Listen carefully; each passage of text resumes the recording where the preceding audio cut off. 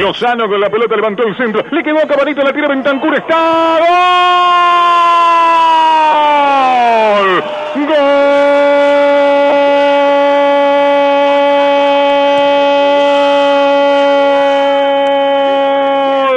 Boston, de Boston, de Boston, de Boston, de Boston, líder más que nunca del clausura, de Boston que quiere huir de la zona del descenso, de Boston River que quiere la épica que tuvo el bicho colorado en el primer torneo del año, lo quiere en el clausura, lleva 9 de 9, falta mucho, pero a los 14 minutos del primer tiempo, un centro de la derecha, no fue de pelota quieta, sino en movimiento, el lateral diestro Lozano levantó pasado el segundo palo y en aparición fantasmal al delantero, muy descuidado por la retaguardia arachana, entró en puntitas de pie, le pegó abajo contra el palo izquierdo del arquero Aguerre sin asunto y a los 14 el local Boston River 1 y puntero del clausura, Cerro Largo 0. Había tenido varias en la fecha pasada. Hoy le quedó para su pierna izquierda, lejos al segundo palo.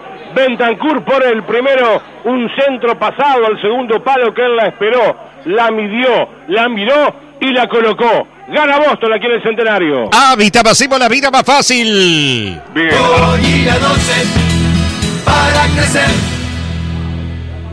23 y moneditas, repito, ¿eh? Boston River 1, Cerro Largo 0. Todo esto en el primer capítulo y aquí estamos. Hoy más temprano, Fernando Martínez Casela te contó con comentarios de Foliati el trabajo del equipo. El empate increíble, agónico, dramático. La verdad que vibrante partido entre Fénix y el equipo de Plaza Colonia. Acá viene Alberti, levanta desde la... Uy, un balinazo al arco de Alberti, quiso sorprender a media altura, palo izquierdo, pero Aguerre estaba bien parado. Zapatazo largo de Aguerre que sacó buscando a Enzo Borges, viene Borges, le gana la Isola, descargó por derecha, va para Dorrego, Dorrego contra su marcador Pedro Silva, viene el centro para Borges, qué bueno lo de Falcón y penal. Penal para Cerro Largo cuando entraba un hombre por izquierda. Lo voltearon, ¿eh? Lo voltearon y hay penal. Me pareció claro desde acá. A ver qué dice el comentarista a los 24. Penal para Cerro Largo que tiene la chance de igualarlo. Para mí nada para decir. Bien Viñedo en la, eh, ejecución o en, la marcar la falta. El envío largo de Dorrego desde la derecha. No pudo llegar Borges y creo que Facundo Rodríguez, el que estaba por aquel sector, cuando era derribado eh, por eh, Gorga, creo que es en aquella oportunidad. No, Alberti, el propio Alberti se que lo toca cuando va a rematar. Claro penal, nada para decirle a Viñolo la ejecución que se viene aquí y el empate para Cerro Largo. Bueno, tiene la posibilidad. Es que había sido todo muy bueno. Muy bueno el centro de Dorrego y muy bueno cómo descolgó Falcón. Lo que pasa, claro, tuvo Alberti esa fa- fatalidad de bajarlo cuando Facundo Rodríguez entraba derechito para entrar de la bola. ¿eh? Acá viene el penal. ¿Quién le va a pegar? Irá. Vamos a ver quién Dorrego. va en el equipo Arachán para pegarle este empate. Dorrego. Buscando Dorrego? Dorrego. Dorrego. Ahí está. Viene Hugo Dorrego. Toma carrera. Ya acomodó la pelota. Saliendo del área. Carrerita larga. Va Dorrego. Tiró. ¡Gol!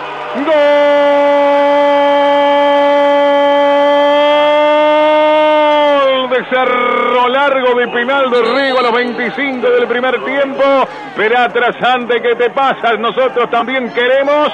También queremos punta. Por ahora no lo logra, pero el partido está buenísimo. Como lo habíamos presentado. Estamos viendo lo que vinimos a ver. Empató el Arachán. 1 a 1 ahora. Y 25 del primero van. Se pone en partido Cerro Largo, penal bien ejecutado, arriba, fuerte, nada para hacer Falcón, se pone en partido el Arachal y ahora es otra historia que comienza aquí en el Centenario. Hábitat, hacemos la vida más fácil. Oh, está bueno, eh, está bueno el partido. para crecer.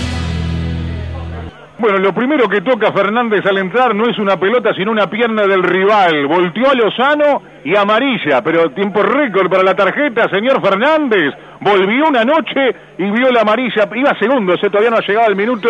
Tarjeta para el argentino Tomás Fernández o tarjeta polaco. Tarjeta de la tarjeta de los uruguayos. Bueno, mira vos. Acá viene el tiro libre cara Winston Fernández desde el propio campo. Ya lo hace con potencia, la manda al área. Cabezazo de Cayetano. Complementa con otro colpo de testa Hamilton Pereira. La baja Lozano, pero en forma fallida. Le queda Hamilton Pereira, pelotazo largo para Borges. Desactiva la bomba con otro colpo de testa. Tejería el Pedrense, el Boteja. Está sacando la pelota Facundo Rodríguez. Ahora eh, Gorga. Gorga toca para Pedro Silva Torrejón. Por la izquierda avanzó Pedro Silva Torrejón. Juega más hacia la izquierda. Viene para Ola y Sola. Ola y Sola hacia adentro. Eh, un poquito se ha reivindicado el Boteja. Había empezado muy inseguro, ahora logra ganar en confianza. La va a cambiar de frente, viene para Lozano. Lozano la bajó y ahora juega Lozano por el sector derecho para Alberti. Viene Alberti, se Alberti, el área por el sector derecho, viene Alberti. Alberti en el Verti, se levantó el centro, venía para Bentancur. Golpe de cabeza de Brasil para sacar esa pelota. Todavía no se va, viene por la izquierda, pero Hamilton Pereira en retroceso por la derecha, media vuelta y despeja.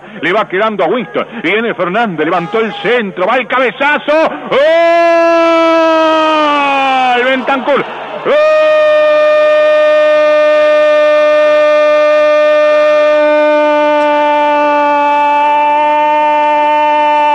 Boston Golazo de cabeza. De Rubén Cabanito Bentancur, el viejo y querido centro de la muerte, no dando una pelota por perdida del Boston desde la izquierda. Y a la altura del punto penal se elevó más largo de lo que es el por dos, increíble. Realmente se subió al cielo en la noche del viernes, mirá, saca la flecha de Cavani, Cabanito para poner con el palital derecho y con golpe de cabeza a los 18 minutos del complemento, el segundo personal y el segundo de su equipo, otra vez el Boston arriba, otra vez el Boston líder del clausura, Boston River 2, Cerro Largo 1. Un error en la salida de Arachán, le queda a Winston Fernández la pelota que viene al área y el más alto.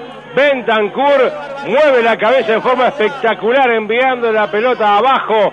Nada para hacer la estirada a Guerre. Gana Boston el arranque del segundo tiempo. Y ahora qué lindo que se pone el partido. Boston quiere seguir largo y prendido en clausura. Habitat, hacemos la vida más fácil. Hoy y la noche para crecer.